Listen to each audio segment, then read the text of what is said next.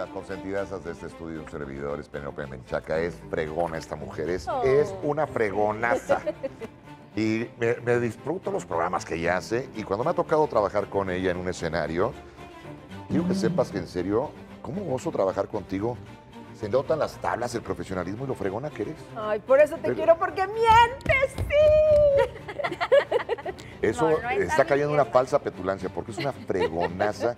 es de esas compañeras con las que uno comparte un escenario y te puedes caer desmayado que ella sacará el producto. Y no se le va a una, porque hay otros con los que empiezan a llorar porque están bien novatitos o no quieren hacer padres las cosas y tú eres garantía. Por eso lo que viene ahora es garantía. Pues fíjate que esta vez no voy a andar uniendo parejitas que es lo mío, mío, sino que ya ahora ya traen lo que agarraron. Ya no es mi culpa. Si eso fue lo que agarraron, fue Si lo único en desesperación. Eso Ya es tu bronca. Pero lo que sí voy a hacer es que voy a poner a prueba el amor, porque si van a decir que son la pareja ideal, pues me tienen que demostrar que realmente son la pareja ideal. Entonces, ¿qué es lo que vamos a hacer? Vamos a hacer diferentes actividades durante el día, porque son cinco parejas durante cinco semanas. Y, por ejemplo, durante el día va a haber una pareja que va a ganar ese día en el que ellos se van a una escapada romántica. Pero como van a llenar ciertos cuestionarios en donde vamos a ver qué tan, so- qué tan afines son, imagínate que tú vas con tu galana y yo voy con mi galán. Y resulta que en los cuestionarios que contestamos, yo soy más afín contigo que con mi pareja. Entonces tú y yo nos vamos a ir a una escapada incómoda. No. Pero no tienen por qué preocuparse, porque si llevaron allá a su pareja es porque saben que sería incapaz de fijarse en nadie más. A ver, yo ya tengo tantos años de casado que pregunto, ¿yo ya casado y todo puedo ir ahí? Mira, el problema es, ya- yo sé, ya te gustó lo de las escapadas incómodas, ni mándeme con esto y mándeme con aquella. No, no, no, no, no, no, porque yo en lo particular, no, no es broma, ¿eh? Ya he llegado a tal relación donde hay algo de comer y pregunto a mi esposa, ¿y si me va a gustar? Ella prueba y dice, no, ni lo pruebes. Y lo pruebo y no me gusta, o sí, te dice, te va a encantar. Tú ya me has Y ya visto se hacerlo. conocen. Esta ya me ha visto Sí. hacerlo, Bueno, por eso me ve así. déjame decirte, yo tengo 21 años de casada y mi marido también me- lo que me pregunta es, ¿tú qué crees que es lo que me va a gustar de aquí? Exacto, eso es una "¿O relación. ¿Te acuerdas qué fue lo que yo pedí la última vez? ¿Me gustó o no me gustó? Yo tengo dos años de casado y así está la Dos cosa. años. Oye, soy de los que, no manches cuánto, te, hoy te ven como héroe de guerra. Tengo nada más 35 años. Y, y sí, pregunto, ¿esto me va a gustar? O, o la siguiente pregunta es, ¿me quedará eso? Te dicen que no, ni te lo pruebes, que no te va a quedar. Y si te dicen que no te va a gustar, no lo pruebes, va a echar el estómago. Puedo ir a concurso. Es- ahí ahí demostrarías que sí eres la pareja Para ideal. ganar la Sí, pareja sí, sí. ideal. Y además, ah, la tolerancia que me tiene es como un héroe. Porque aguantarme debe ser un dolor de cabeza. Se ganó un monumento. Tú ni te quejes porque tú estás contratada. Gracias. Eso es distinto, pero bueno. Eh, entonces, ¿puedo inscribir a alguien? Sí, no pueden estar casados, están arrejuntados, digo, eh, pues, arrejuntados. O sea, sí permíteme, se viviendo puede. en pecado. Viviendo en pecado, sí Ave se María puede. Purísima. Se puede que tengan poco tiempo de novios, no importa. El chiste nada más es que no estén casados. ¿Y qué es lo que se van a ganar? Por ejemplo, a lo mejor en tu caso, bueno, pues su boda. Pero habrá otros que estén Dejar arrejuntados y digan, yo no me quiero casar o apenas llevan poco tiempo de novios y no quieren eso. Bueno, pues puede ser que a lo mejor quieren un viaje, Viaje, o que les amueblemos la casa. Oye, sea, pero si te queda todo, el viaje, los muebles en la casa, la boda, la luna de miel, te queda todo. Ahí está, ahí está. ¿Estoy a tiempo? ¿Estoy a tiempo Oye. para inscribirme? Esto es lo tuyo. 6 de la tarde de lunes a viernes tú te presentas ahí y estás en la pareja ideal conmigo. Pues mire, busque a su pareja ideal. ¿Y si me lo mandan con otra ahí de una escapada romántica? Es que Ahí, no es pareja. donde juega el verdadero amor.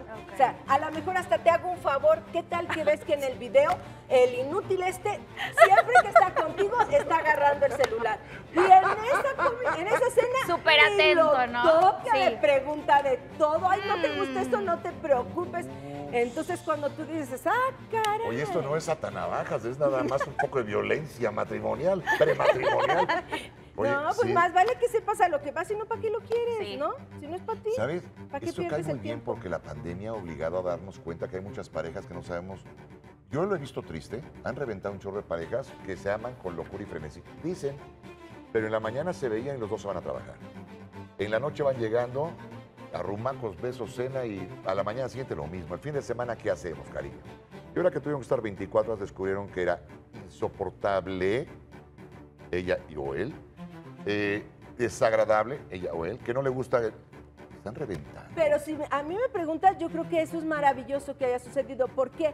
Porque estamos con alguien que no es nuestra pareja y no es la persona con la que debemos de estar. Porque tú lo sabes, tarde o temprano se van a ir los hijos, tarde o temprano te vas a retirar. ¿Y qué vas a hacer? Que vas a salir a la cocina y ahí está el tipo.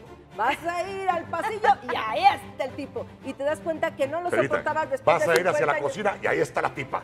Y vas a ir. Oiga, esto se va a Que poner bueno, ¿eh? generalmente es en el otro caso, ¿no? Sí. Bueno, Pero- generalmente cada quien lo habla como quiere.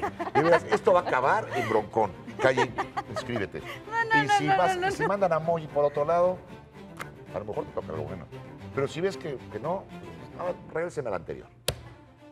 No estaría mal. No, No estaría, mal. mal. El lunes. Oye, es la cita. Penélope se dedicó todo- toda su carrera a juntar parejas. Yo está viendo cómo le parte su Y te mandarina las en quiere gajos. destruir. No, le voy a hacer un bien a la humanidad. ¿Para qué queremos que haya parejas que nada más están ahí por las razones equivocadas? Cálmate, no. yo iba a todos los políticos diciéndome que me van a hacer una vida ideal y todo y no han hecho nada. O sea, no creo en esas promesas. Estas como en campaña y ya acabaron. No. Lo único que voy a tratar de ver es que sobreviva el amor. Si realmente hay amor, van a llegar hasta el final. O sea, qué queriéndose promiscuidad. todavía. Vas con tu pareja. Resulta que la, la otra te hace más cliché. Y a tu pareja a la porra. Eso, eso no es promiscuidad, se llama vida. Así es la vida. Exacto. Andas por la vida y dices, ah, caray, a lo mejor estoy qué equivocado. ligerita andas ahora así en rectitud. Si realmente lo amas, esa es la que todos inventan. Si realmente lo amas, no importa quién te pongan enfrente, ni cuenta te vas a dar. Exacto. ¿no? Y ahí viene la clásica así de siempre de, no eres tú, soy yo. ¡Claro! Ya conocemos todo esto, ¿no? Pues mire, es garantía esta mujer que la vamos a pasar bien. ¿Quién sabe cómo la pasen las parejas? 6 de la tarde por Azteca 1, lunes a viernes. Y además Vas no vas a estar Voy sola. completamente en vivo. No, no, no, voy Muy bien solita. acompañada. Sí, fíjate que De Exodio va a ser ahí su entrada triunfal como conductor ahora. Lo vamos a ir ayudando, lo vamos a ir empujando, va a estar ahí Dijo también. Pascal. Sí, claro. Vino de- a ¿Dónde está el teléfono de tu mujer para preguntarle si sabes quién es? En este momento Vino acaba de decir, claro, Garralda. Venía con el problema de la espalda, recuerda Ah, ya sé, y me sí. cae bien, ya sé Eh, quién es. sí. ¿Cómo, cómo tuve que acordarme de una chaca que tiene en lugar de otra cosa? ¿Quién Y más? también, está conmigo una chica que es de. Monterrey, Gaby Ramírez, y también es súper talentosa, es muy simpática, es linda, y me van a estar ayudando, van a ser como mis Bien, cómplices. Pero dime una cosa, ¿entran de rodillas al estudio estos dos? ¿Por qué de rodillas? Para agradecer que tiene una maestra como tú. Ah, Ah, Yo dije, ¿por qué de deberían, deberían. No, no has visto cómo entra esta niña aquí, pero, pero de allá acá, dando gracias. o sea, Nada voy a que Allá acá. ¿cómo no? Allá acá, pero bueno. Bueno, están ahí. No hay límite. El amor puede abrir todo. Ah, A las seis de la eh, tarde. Así dicen, fíjate, el amor todo lo logra, Todo lo menos puede. en la vida real, hijos. También hay una frase que dice que el amor entra por la puerta. No. No. El Cuando dinero el sale, dinero que sale. qué. Que si no hay lana, esto se lo carga el payaso. Ahí está, pero en fin. ¿Aprendiste? Sí. Y vives en pecado. Pero bueno, Próximamente ya no. bueno.